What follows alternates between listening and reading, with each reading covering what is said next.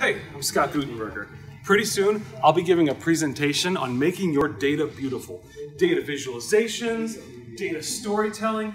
Now, if you're a digital agency, a franchise, or a media company, this is right up your alley. Now, I hope you walk away with a deeper understanding of the psychology of color and what truly makes a good data visualization. Well, what are you waiting for? I'll see you there.